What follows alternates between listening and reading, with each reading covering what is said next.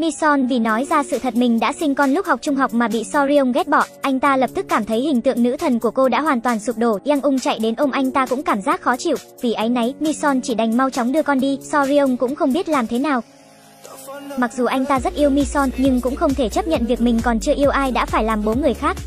Đồng nghiệp nhìn thấy họ gần đây không nói chuyện với nhau còn nghĩ là giận dỗi nhau, đặc biệt tạo cho hai người không gian riêng tư ở bên nhau, nhưng Sorion một câu cũng không muốn nói, uống say mềm rồi một mình đứng dậy rời đi. Anh ta loạn trạng đi ra giữa đường, Mison nhìn thấy vô cùng hoảng loạn, đã vội vàng chạy ra kéo Sorion vào. Hai người ngã đè lên nhau, lúc này Sorion mới tỉnh táo lại, lo lắng cho Mison, một người con gái mạo hiểm xông ra đường xảy ra chuyện thì làm thế nào, nhưng lúc này cô cũng chỉ lo anh ta gặp chuyện không may, Việc này làm Sorion vô cùng cảm động, rõ ràng anh ta cũng cảm nhận được Mison dành tình cảm cho mình, lập tức ôm lấy câu hỏi mình phải làm thế nào mới đúng. Mison chỉ đành nén nước mắt rời đi, Sorion buồn bã đi về nhà đúng lúc gặp bố, ông ấy vừa nhìn đã nhận ra con trai đang phiền lòng vì phụ nữ.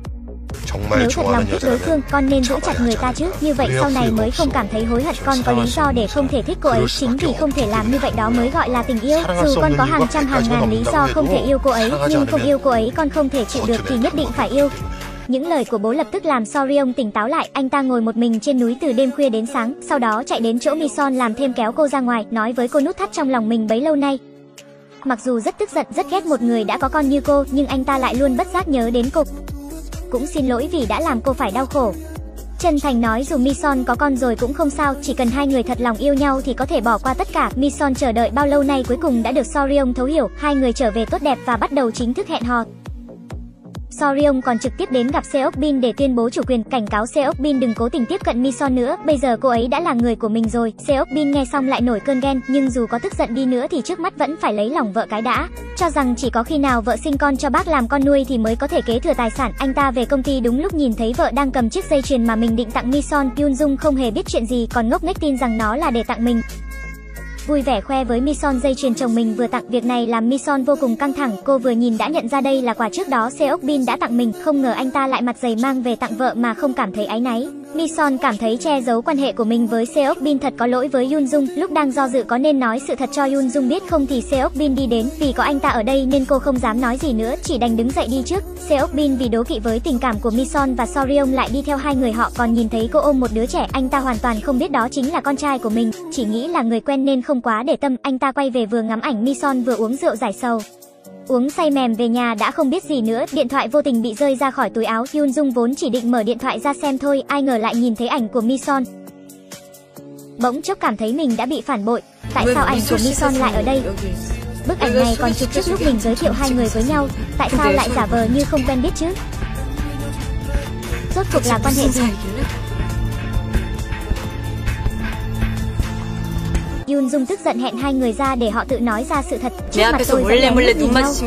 Rốt cuộc lý do các người lừa tôi là gì? Các người đang muốn làm trò gì vậy? Yun Dung không phải như vậy, không phải đâu. Yun Dung chỉ là hiểu lầm thôi. chúng cứ dành danh tiếng này còn dám nói là hiểu lầm sao? Cô nghĩ tôi là con ngốc sao? Nói đi các người có quan hệ gì? Rốt cuộc là thế nào hả? Bỏ ra ai cho phép em thực hiện được vào điện thoại của chồng?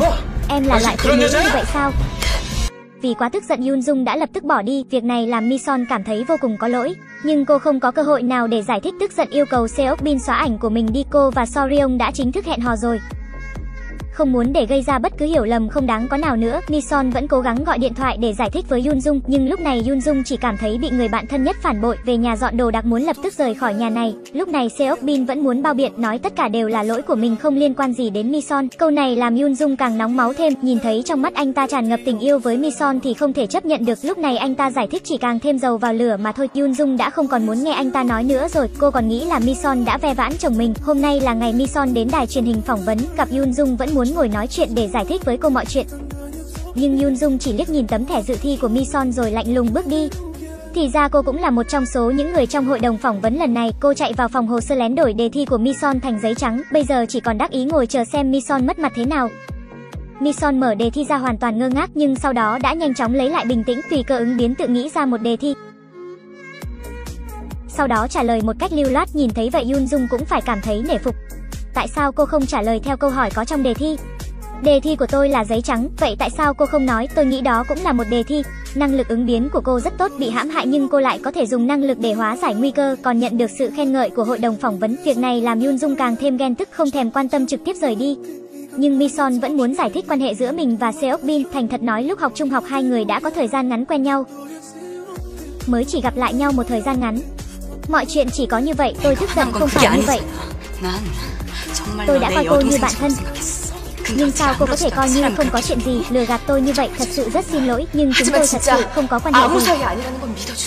Những lời giải thích và xin lỗi của Mison đều không được Yun Dung chấp nhận. Yun Dung tức giận cho rằng Mison che giấu mình là vì có tâm cơ, chạy đến nhà dì nói mình phải ly hôn mới can tâm.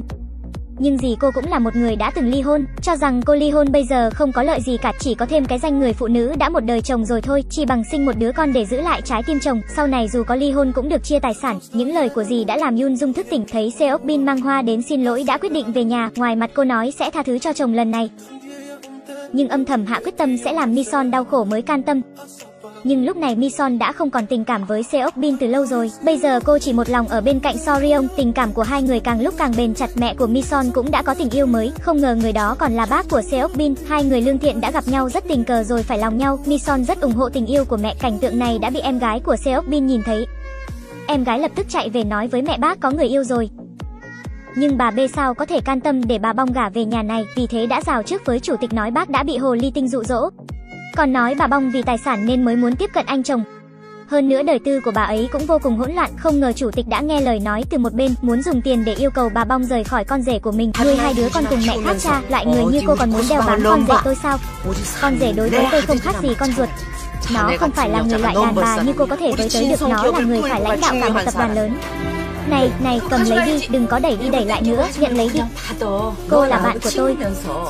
Bà ấy nghĩ tôi như vậy mà cô không nói giúp gì sao, cô không nên làm thế với tôi. Hai chúng ta trở thành chị em dâu, cô thấy vui lắm sao? Tại sao không được, tại sao đến cô cũng coi thường tôi, tại sao? Cô và anh chồng tôi tuyệt đối không thể hiểu chưa?